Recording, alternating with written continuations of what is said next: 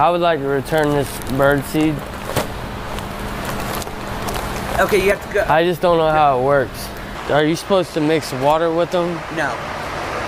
Do, do you plant as they them? are. You put them down in the soil, or you just throw them down? Throw it on the ground. You don't have a bird feeder? Um, no, I've been trying to grow them for the last couple months, and like I'm supposed to put fertilizer on them. I had a garden with my dad when we were younger, Mm-hmm.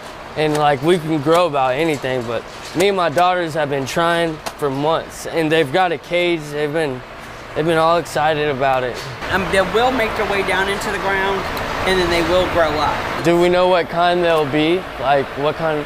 No, they all fly though. It's just If, yeah, exactly. They're just wildflowers. they're alive and flying. You just got to get a cage for them after you get it These, It, it grows all different types of birds.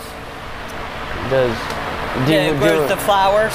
It's going to attract these kind of birds. so it could grow a, like either a red bird, a white bird, or even the yellow one. It, this depending on the season is like the season.